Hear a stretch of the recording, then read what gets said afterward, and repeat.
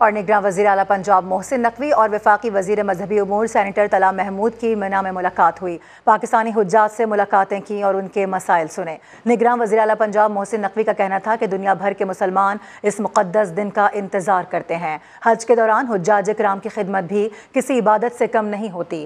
विफाकी वज़ीर मजहबी अमूर तला महमूद ने कहा कि हजाज के मसाइल के हल के लिए यहाँ मौजूद हैं। पाकिस्तानी हजाज की खिदमत हमारी अवलिन तरजीह है। निगरान वजी अला पंजाब मोहसिन नकवी का कहना था कि दुनिया भर के मुसलमान इस मुकदस दिन का इंतज़ार करते हैं। हज के दौरान हजाज कराम की खिदमत भी किसी इबादत से कम नहीं होती। विफाकी वज़ीर मजहबी उमूर तलहा महमूद ने कहा कि हजाज के मसाइल के हल के लिए यहाँ मौजूद हैं। पाकिस्तानी हजाज की खिदमत हमारी अवलिन तरजीह है। निगरान वजी अला पंजाब मोहसिन नकवी का कहना था कि दुनिया भर के मुसलमान इस मुकदस दिन का इंतज़ार करते हैं। हज के दौरान हजाज कराम की खिदमत भी किसी इबादत से कम नहीं होती। विफाकी वज़ीर मजहबी उमूर तलहा महमूद ने कहा कि हजाज के मसाइल के हल के लिए यहाँ मौजूद हैं। पाकिस्तानी हजाज की खिदमत हमारी अवलिन तरजीह है।